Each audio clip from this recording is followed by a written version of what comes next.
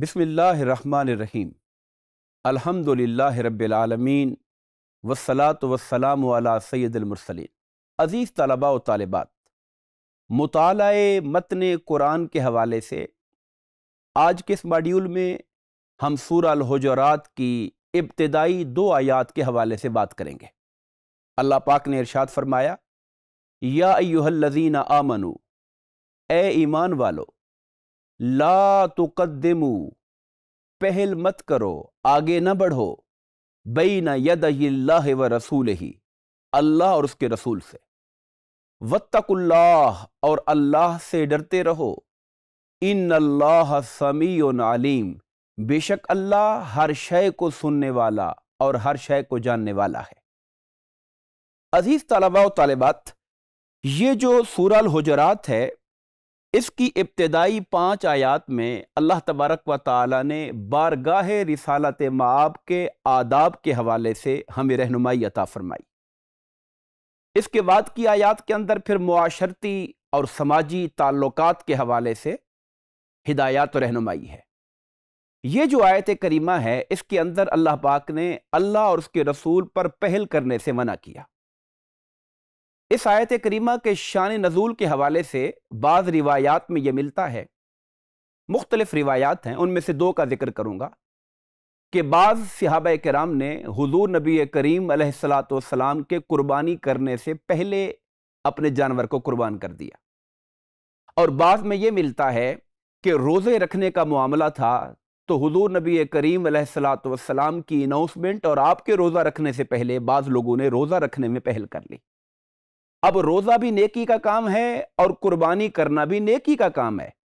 मगर यह नेकी का काम अल्लाह की बारगाह में कबूल नहीं किया जा रहा, इसलिए कि उसमें अल्लाह के रसूल पर पहल हो रही है। अब जब हुजूर नबी करीम सलाम की ज़ात वाबरकत, आप दुनिया से पर्दा कर चुके हैं तो अब इस आयत करीमा की तालीम हमारे लिए यह है कि अल्लाह का कुरान और हुजूर नबी करीम सलाम की जो सुन्नत मुतहरा है, कुरान और सुन्नत पर हमने पहल नहीं करनी।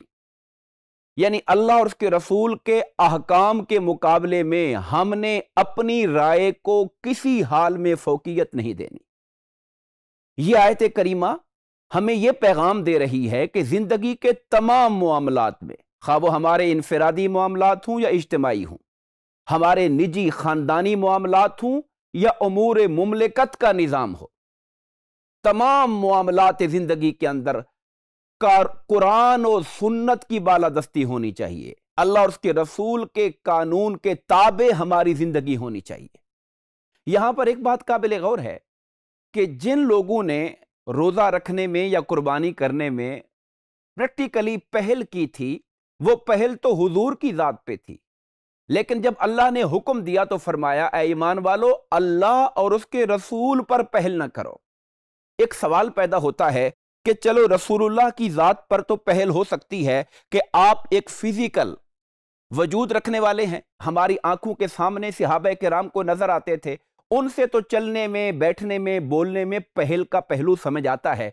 लेकिन अल्लाह की ज़ात पर पहल कैसे हो सकती है? खुदा पर कोई कैसे पहल कर सकता है?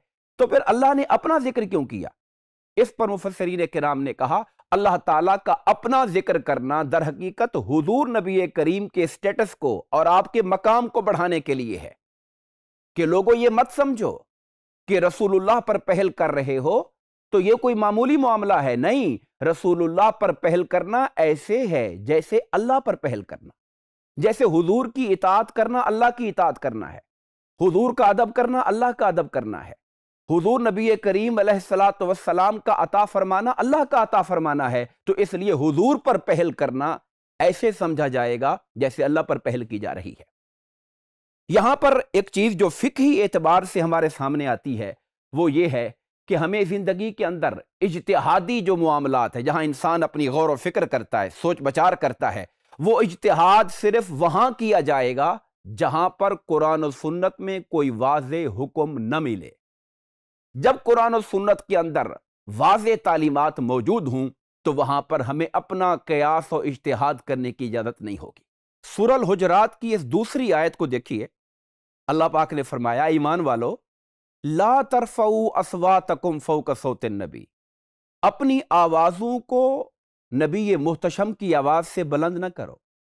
वला तजहरू लहू बिल कौल का जहर बाद कुमले बाद और उन्हें इस तरह बुलंद आवाज़ से मत पुकारो, जिस तरह तुम एक दूसरे को पुकारते हो।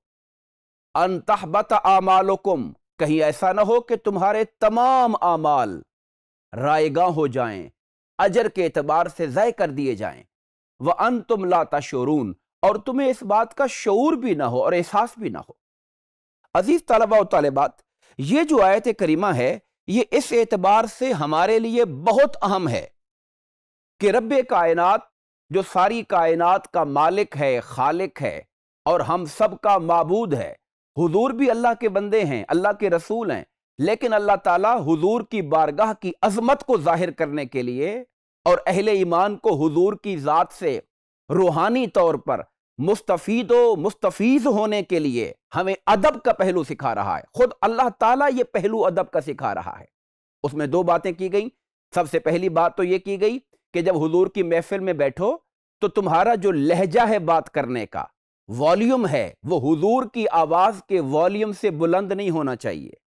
तुम्हारी आवाज़ उनकी आवाज़ के मुकाबले में धीमी होनी चाहिए।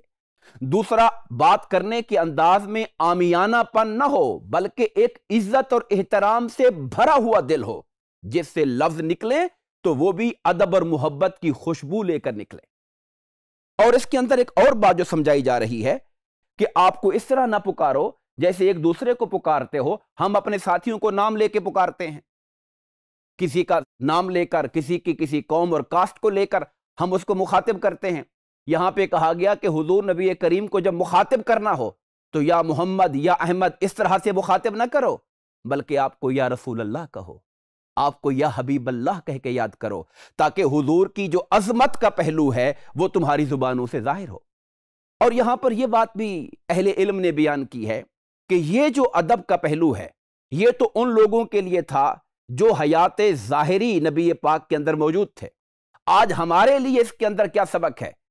तो उस पर कराम ने मुफसरीन कराम ने यह सराहत की है कि हुजूर नबी करीम सलाम का जहाँ ज़िक्र मुबारक हो रहा हो, उस ज़िक्र मुस्तफ़ा की महफिल का अदब भी उसी तरह मलहूज रखना चाहिए, जैसे बारगाह मुस्तफ़ा का अदब है, सल्लल्लाहु अलैहि वसल्लम। और इसी तरह जब हुजूर नबी करीम सलाम की अहादीस तय्यबा पढ़ी जा रही है, हुजूर का फरमान बयान किया जा रहा है तो वहाँ पर भी अदब बारगाह रिसालत को मलहूज रखा जाए, इसलिए कि जो कौल बयान हो रहा है, वो हुजूर नबी करीम सलाम का कौल मुबारक है।